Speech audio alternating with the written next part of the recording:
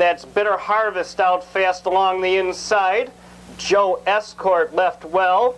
Getting off third round the turn now is Embark. In a race four position, Joe Escort from the outside takes a short lead. Bitter Harvest protects the rail in second. Embark is third. Tempered Arrow racing fourth. House Detective is fifth. Electric Cat is sixth as they head for the quarter. It's Joe Escort to the front off the quarter 29 and 4 fifths. It's Joe Escort with the lead. Embark out of third, moving up on the outside to challenge now and take the lead. It's Embark with Brian Pelling the leader by a length. Joe Escort is second, Bitter Harvest third.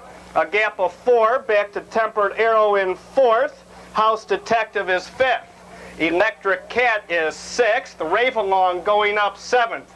Fine Royce is eighth. Trailing the field now is Express Mail.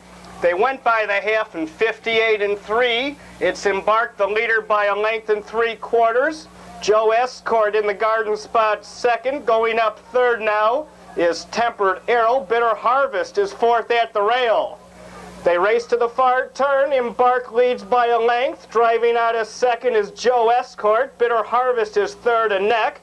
Tempered Arrow is fourth on the outside. Coming on to be fifth round the turn is House Detective. They went by the three quarters and 128.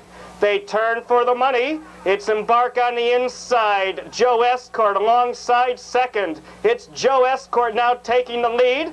Embark Racing second. Bitter Harvest is third. Through the stretch, Joe Escort starts to draw clear by two and a half. In second is Embark with Bitter Harvest third. Joe Escort in front.